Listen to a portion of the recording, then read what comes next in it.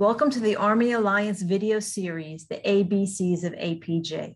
I am Sue Nappi, the Executive Director of the Army Alliance. The Army Alliance is a nonprofit civic organization that advocates for the programs, people, and jobs of Aberdeen Proving Ground, also known by the acronym APG.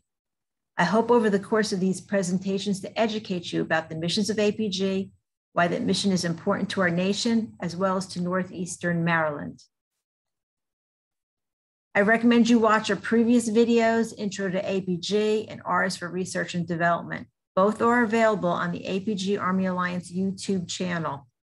This video focuses on one of APG's centers of excellence, testing and evaluation.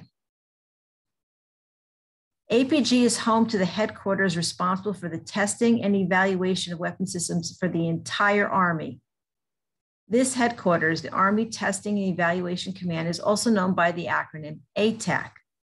ATEC headquarters relocated to APG from Alexandria, Virginia, as part of the 2005 Base Realignment and Closure Action, also known by the acronym of BRAC. ATEC's mission is to make sure we send our nation's soldiers to war with weapon systems that work. ATEC's nationwide workforce is made up of 9,000 military, civilian, and contract employees who are highly skilled test officers, engineers, scientists, technicians, researchers, and evaluators. They design and use highly accurate and precise instrumentation to, to test sophisticated military systems under controlled conditions with an annual budget exceeding a half a billion dollars.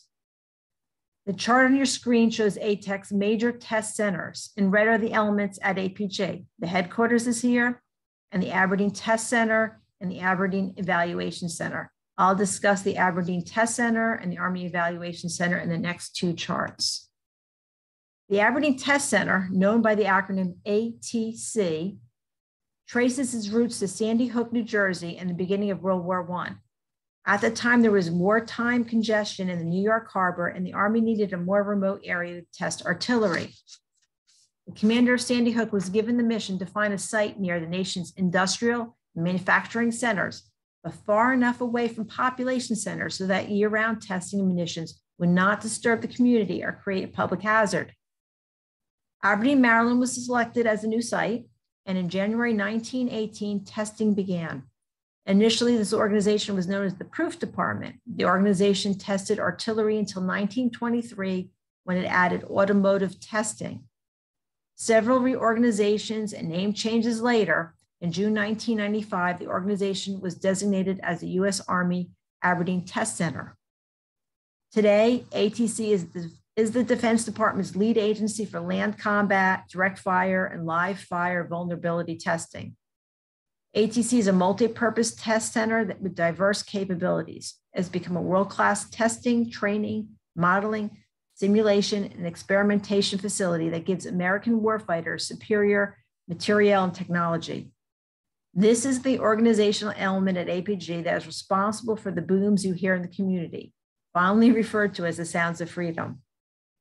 The pictures of the chart from left to right, first is a picture of live fire testing followed by a picture of automotive testing, and then a picture of equipment used in testing to record data.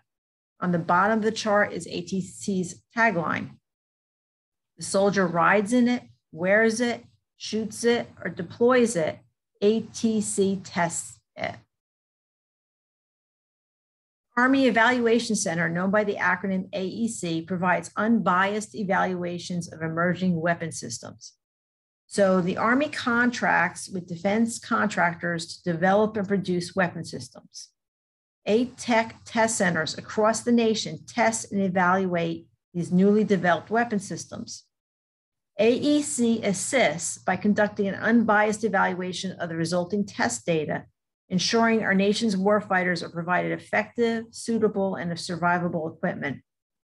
AEC's evaluations are conducted on the full range of Army systems, from missiles to helicopters to electronics to artillery. Why is it beneficial to have the Army's testing and evaluation mission here in this community?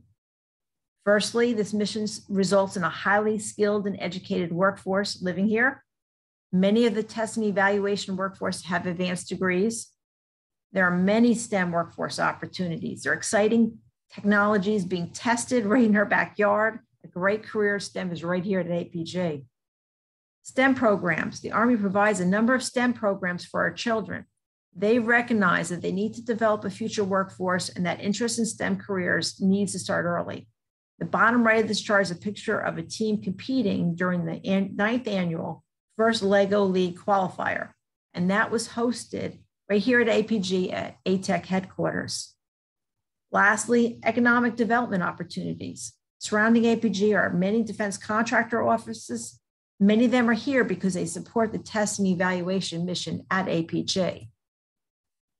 Here's a full list of the episodes of the ABCs of APG. The videos will be hosted on the APG Army Alliance YouTube channel, and links will be provided from the armyalliance.org website. And here's how you reach the Army Alliance, and please feel, reach to, feel free to reach out to me.